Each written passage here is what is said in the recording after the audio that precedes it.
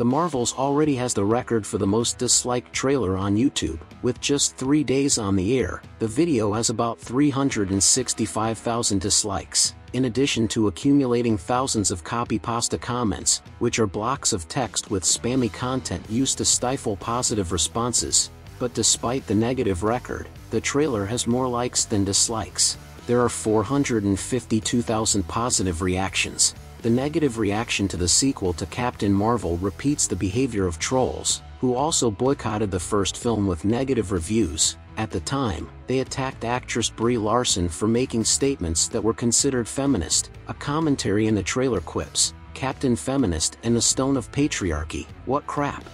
It's worth remembering that, despite criticism from the noisy minority, Captain Marvel made $1 billion at the worldwide box office, None of this comes as a surprise to those who are aware of the ongoing trend of criticism bombing aimed at Marvel projects that feature A. Female superheroes, B. Non-white superheroes, C. LGBTQ superheroes slash characters, or D.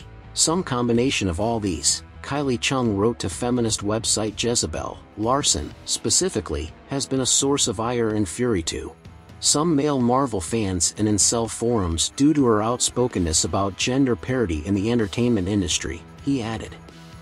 Brie Larson returns in the Marvels with her role as Carol Danvers. In the plot, Captain Marvel regained her identity from Kree tyranny and took revenge on the Supreme Intelligence, but the consequences of this leave Carol to carry the burden of a destabilized universe.